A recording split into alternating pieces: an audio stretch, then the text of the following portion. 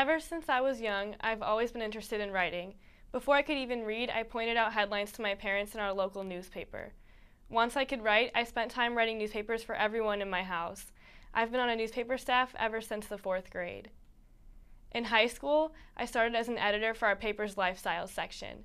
Then I was promoted to copy editor. The next year, I was the design and managing editor for the paper.